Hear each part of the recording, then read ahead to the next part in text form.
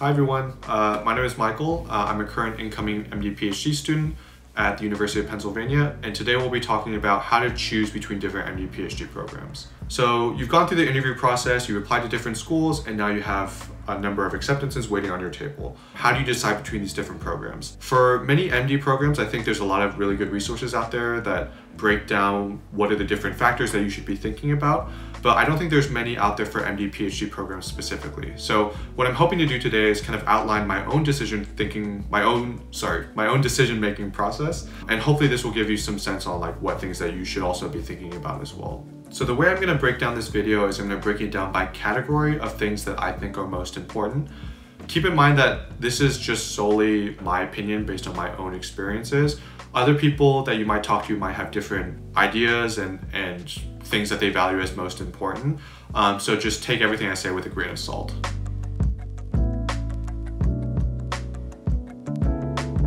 Okay, so the first thing that I think is probably the most important is cost. Many MD PhD programs in the US are what we call medical science training programs, or MSTPs, where cost basically doesn't become an issue anymore. So the idea is that in these MSTPs, you actually receive federal funding uh, to cover the cost of your tuition. You usually get healthcare benefits, all that stuff. And you also get a living stipend as well. And so the idea is that you don't really have to take out any student loans. You don't have to take out just any loans in general because everything's going to be covered for you. And these types of programs, cost really isn't that big of an issue. Um, but there are also some other programs that are not medical science training programs, and you actually do have to pay for the first two plus years of medical school or even more. You also have to take out loans to cover living expenses, healthcare, all that stuff. And so if you know, cost is an important factor for you. You have to think about these things and, you know, whether to only apply to MSTP programs or whether to expand your, you know, application radius to MD PhD programs in general as well.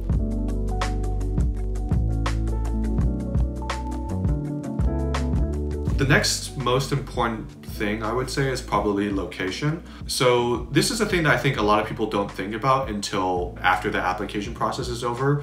Location's really big because think about it like you're going to be spending eight plus years at one particular location and so you really want to make sure that you're picking a place that actually you know you vibe with well and that it's just a good fit for you. It's a substantial amount of time and then you know like life doesn't wait for you to finish your md phd training. So for example some of the questions that pertain to location are do you want to be close to family right? Um, do you uh, want to settle down on a particular side of the, the US, so West Coast, East Coast, Midwest, um, after graduation and you want to do your residency in a particular location? For example, um, it's well documented that if you want to do your residency and ultimately settle down on the West Coast in you know California, you should probably stay on the West Coast for your medical school training because it's a lot harder to come back from the East Coast to the West Coast and again, life goes on, you know, during your academic training, and you shouldn't be in like the student mentality, right? Like you're you're a young, functioning professional adult, right? Um, and so you have to think about, you know, what type of people do you want to form a community with, right? Um, if even things like, you know, if you want to have kids down the road during the later stages of your training or even early stages, um, where would be a good place to raise them? Um, all of these things you know, many of these questions you might not have like an exact answer to, but it's good to be consciously thinking about these things and give yourself the best fighting chance to um, hopefully set yourself up for success, not only in your academic career, but just overall in life as well. So to, to really emphasize how important location is, um, I remember during my own interview process, I think virtually every school asked me why I would actually move out of California to come to their school. Um, so for some context, I grew up in California for 21 years. I've, I've lived in California my whole life. And so when I was interviewing at a school in Tennessee or in Ohio, um, it, they, they really wanted to make sure that I had a good reason for moving out to, um, you know, kind of a place that I, I didn't know anything about. Um, and I didn't have any family members there or anything like that. And so I had to actively go out of my way to say, you know, that I was one, interested in moving out of California, and two, I had actively chosen not to apply to many California schools because my own personal preference is that I want to kind of explore the rest of the US and see what else besides California that uh, the United States has to offer. So the bottom line from this is that everyone, you know, applicants and admissions committees and everyone they know that most people like to stay in state for a good reason, right? And so I would encourage you to think very carefully on, um, you know, what things are most important for you, and if you can visit the school beforehand, you know, either during the interview process or for me during COVID, I had to visit outside of the interview process. Really, just make sure that you like the community and not just the school as well. So both the school and the community.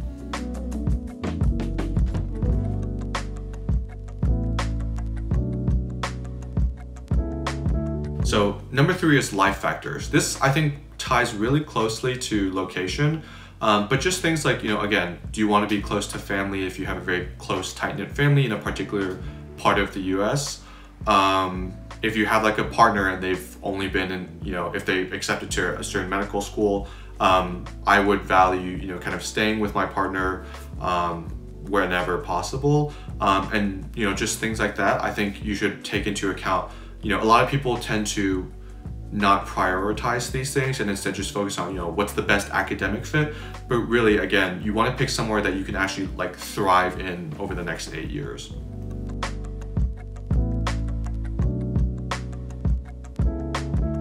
So number four is school culture, and that's really just kind of how the school and the you know administration treats its MD PhD students this can be kind of difficult to get a sense of if you don't if you aren't able to like actually talk to um, current students during the interview process.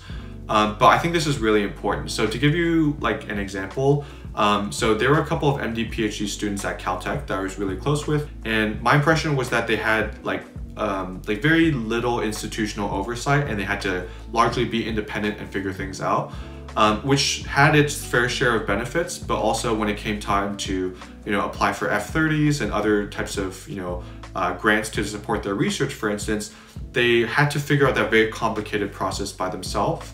Um, contrast to, you know, my experiences talking with current students at um, UPenn, which is where I'm currently going to be going.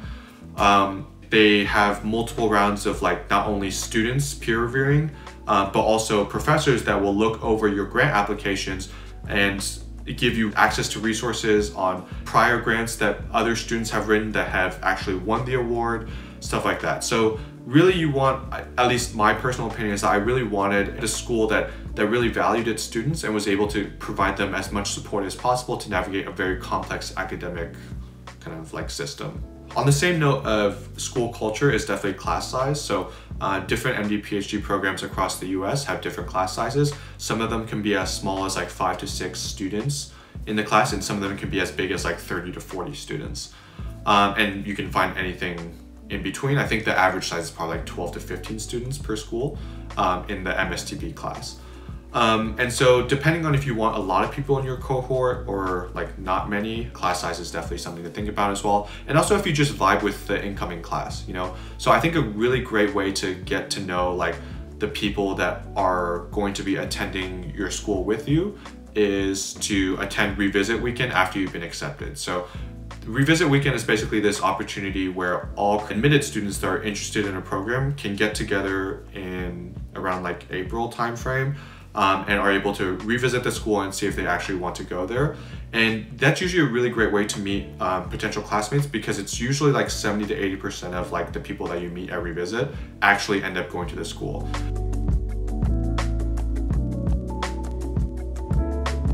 Okay, so number five is research opportunities.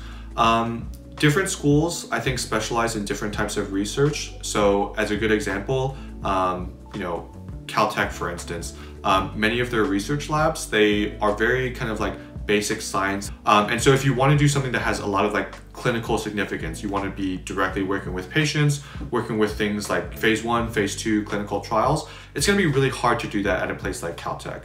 And you know, other institutions might have their own things that they're good at. And so if you know particularly what you want to do for your PhD, you want to make sure that there are ample research opportunities and there's a good list of PIs that you might be interested in working with um, that kind of align with your research interests, um, even if they change down the road.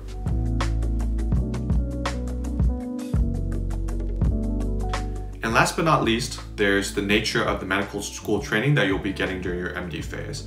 Um, in general, I think it's pretty standardized across many different programs, or at least that's my impression. Um, but there are some subtle nuances that might affect the pathway of how you get trained during your clinical years. Um, so as a good example, so for example, Harvard has their health sciences and technology pathway that's very different from other programs across the US. Basically, during your first two years of preclinical work, it's solely classroom based and it's, you know, you don't really spend time uh, working with patients in the clinic. Um, and you really learn a lot of like hardcore science and programming that kind of supplement your knowledge of like the human body and things like that. So if you're really analytical and you really want to get that like um, really interdisciplinary approach to medicine, then HST might be a really good choice for you, but for other people, it might not be a great pathway for them. Another thing, for instance, is that one thing that really drew me to UPenn was that they also had an emphasis on like learning new technologies that would be used in the clinic. So things like actually teaching students how to use ultrasound, right? Not not many programs I think the US currently teach their students ultrasound skills. And so for me, like as someone that, you know, was really invested in like different medical technologies and it's something that I'm actually interested in working with in the future, that was something that I was really looking for in my decision making process. So those are the six things that I think are probably most important for you to be thinking about whether you're currently applying, will be applying, or have already applied and are currently thinking about where to go. Um, if I missed anything, feel free to leave a comment down below. Otherwise, I'll see you in the next video.